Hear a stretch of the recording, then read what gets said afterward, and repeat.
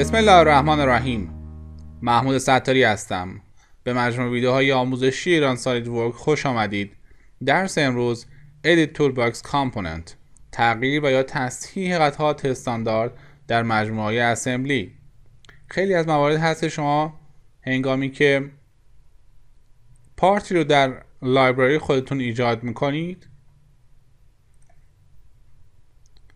و اون رو وارد محیط اسمبلی خودتون می‌کنید؟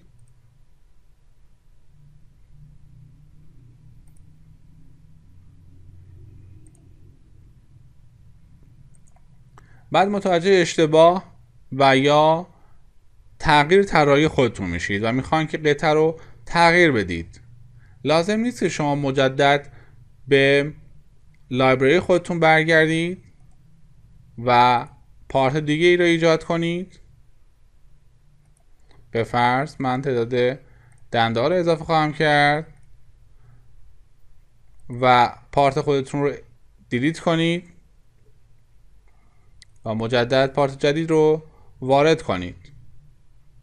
شما با قابلیتی که SolidWorks 2016 در اختیارتون قرار داده می‌تونید در همون محیط assemble این کار رو انجام بدید.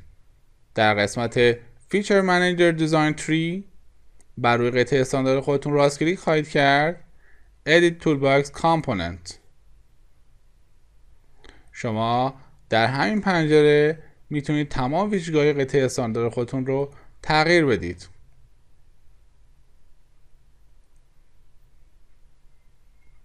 و تایید. و حتی شما می‌تونید کل قطعه استاندارد رو جایگزین کنید. Edit Toolbox Component Change Fastener Type. شما می‌تونید قطعه استانداردتون رو به کلی عوض کنید. من به سراغ دنده خواهم رفت.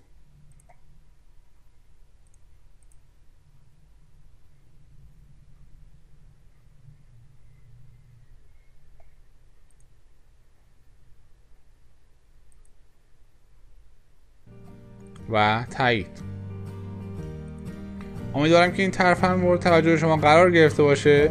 شما می‌تونید ما رو در فیسبوک یوتیوب آپارات و همچنین در تلگرام دنبال کنید. ممنون و متشکر خدا نگهدار.